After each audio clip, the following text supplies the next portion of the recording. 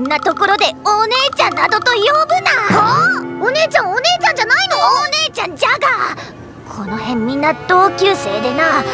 えっ、ー、とおおその。言われてみれば。先輩は友達には何て呼ばれてるんですか？そういうのは言わんことにしておるのじゃ。前はなっちゃんって呼ばれてなかった。わけ！なぜ言うか！もしかして先輩？照れてます？かわいい式は終わり。じゃ お姉ちゃんご卒業おめでとうございます。ああありがとうな。彩り緑第25話アワーセブンライツ。彩り緑卒業。ゲット。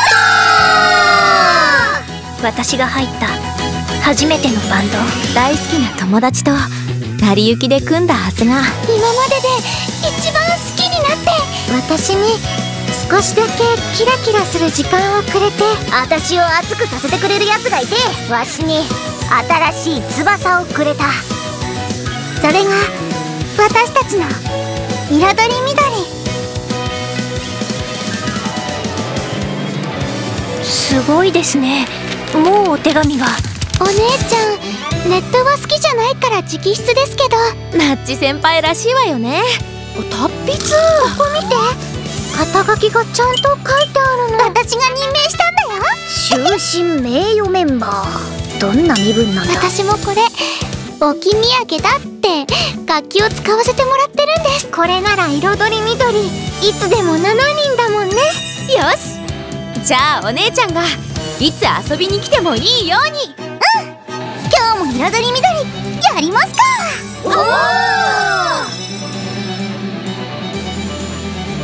こうして私たち彩り緑は7人目のメンバーであり唯一の3年生お姉ちゃんことなち先輩を送り出しました少しだけ喧嘩したりへこんだ日もあったけどその分もっと大切なものを見つけて分け合って私たちはまた歩き始めます。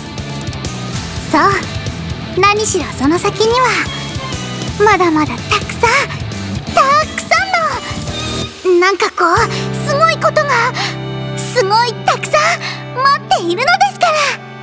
せーの。続く。